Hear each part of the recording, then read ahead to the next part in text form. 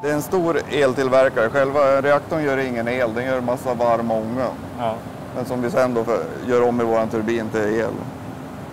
man blir nästan sugen på att dyka i det. Ja, det, det blir man. Det är ett väldigt fint vatten men eh, risken är väldigt stor att du skulle skita ner vårt vatten så du får inte göra det.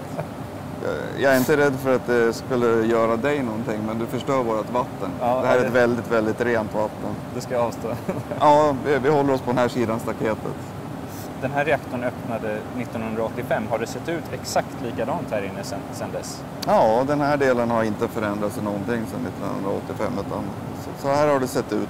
Och den har varit i drift. Den är i full drift nu. Den har är i full det. drift nu och har varit så, eh, förutom kortare perioder då vi ställer av för översyn, så har den varit i full drift.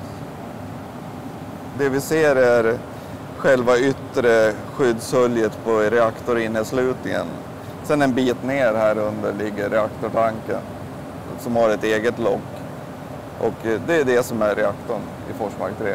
Och hur stor är den här eh, tanken där nere? Tanken där nere den är ungefär 7 meter i diameter och så ungefär 15 meter hög. Då. Och det är det hela. Det är från, från den här tanken som ja, ett, ett antal procent av Sveriges elproduktion kommer varje år. Ja, det är, det.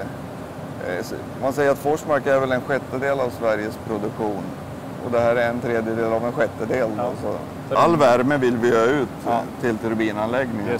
Så det är dit all energi går. Men nu är den i full gång. Ja, så, så här låter det när ett kärnkraftverk är i full gång. Det är inte mer än så här.